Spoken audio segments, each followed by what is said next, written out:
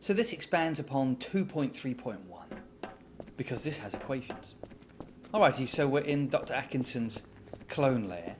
So you can see that radio and TV. So that's the lowest sort of energy radiation. Then microwaves, infrared, that produces heat. At increasingly higher energies, we have then red, orange, yellow, green, blue, indigo, and finally violet in the visible. Past that is, well, what do you think? Look at the suntan on that guy. Yes, is ultraviolet, is higher energy still. And the final one you need to know is X rays. There's a piece of cobalt 60, which is used for X ray creation. You need to know that for SL chemistry. Now, there are other things in the electromagnetic spectrum, but none of them you need to know for IB. So, hopefully, this diagram will help you understand a bit more about the electromagnetic spectrum. Let's pretend that this uh, part of the diagram here is for visible, for visible light, Roy G. Biv. Now, at slightly higher energies on the right hand side, we've got ultraviolet and then X rays. You don't need to know about gamma rays. And at lower energies, past infrared, we have microwaves and finally radio waves. Okay.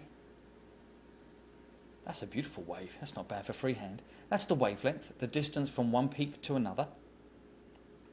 And since it's a length, it's measured in distance. We'll use meters, standard unit. Next is frequency. It's how many wave crests pass a given point per second. So let's count 1,000. Oh. So that was one second. And how many wave points went by? One, two, three, four, five, nine. Okay, so that's nine per second, or nine hertz. Nine per second is probably what the IB will use. Next, we have the rather cryptic wave number. Wave number is 1 divided by the wavelength, and the wavelength has to be in centimetres. And this provides a more convenient number that's within the realm that we understand, you know, hundreds, thousands. No nasty exponentials or megas. Just a few extra details. Visible light is around 10 to the minus 7 meters from peak to peak, the wavelength. X rays 10 to the minus 10, so the wavelengths are smaller there. Infrared is in the order of millimeters. Microwaves in the order of centimeters. And radio waves, we're looking at kilometers long. Bring on the maths. So E equals HF. That's given in the data booklet, and its energy is Planck's constant, which is also given in the data booklet, times frequency. The next equation you need to know is C equals lambda F. C is the speed of light. Lambda, well, that's how wavelength is written, and multiplied by frequency.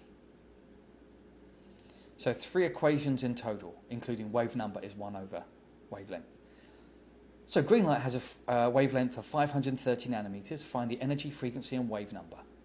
Let's find the frequency first. Rearranging that equation, speed of light is 3.00 times 10 to the 8 meters per second. Okay, so that's my frequency. Wow, that's really frequent. And the units cancel top and bottom, just gives me per second. So there's that many oscillations per second of green light. Trying to work out the energy. Planck's constant, again, is given in the data booklet. Multiplied by the frequency that I just worked out. And that's going to give me a very teeny weeny number. It's the energy of one photon. Working out the units, second cancels with per second, so that just gives me joules.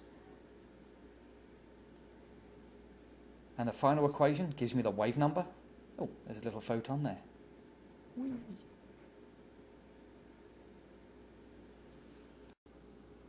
So wave number is 1 over the wavelength, and it's got to be measured in centimetres, the wavelength. A little bit of conversion to get to move it to scientific notation, and then bring that to centimeters. Okay. 5.30 times 10 to the minus 5 centimeters is the wavelength. Invert that. Uh, three sig figs all the way through. So that's 18,900 per centimetre. Easy.